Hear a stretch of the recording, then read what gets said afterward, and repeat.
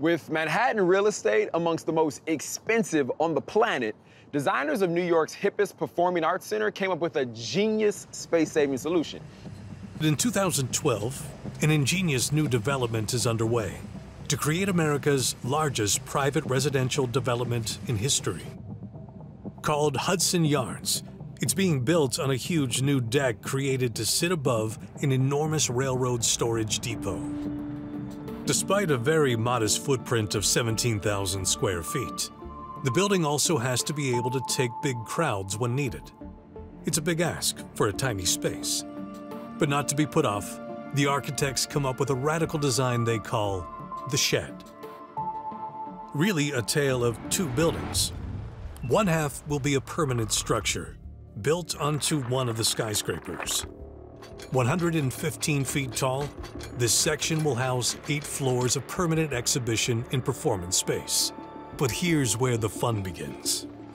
This part will be completely encased in another structure, a huge steel shell that despite weighing 4,000 tons, will be able to move out across the piazza, instantly doubling the size of the building and creating a 17,000 square foot multi-use performance space, complete with climate control and state-of-the-art staging systems.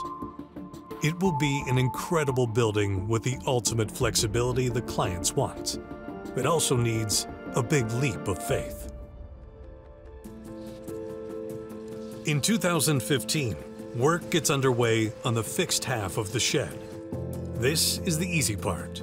It's built using a tried and true steel frame construction method, permanently fixed to the concrete slab. But then comes the hard part.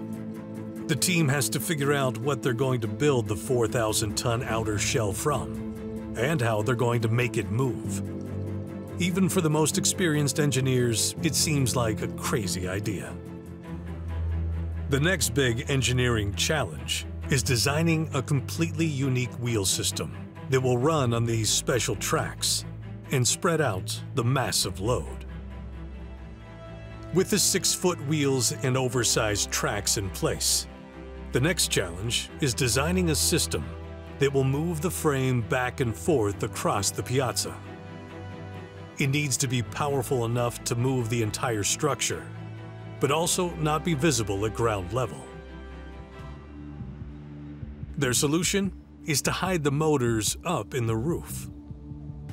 To make the motors move the frame, they turn to the tried and tested rack and pinion system. The next challenge is to create a weatherproof shell that's strong, lets in light, looks amazing, but also doesn't weigh an ounce more than it needs to.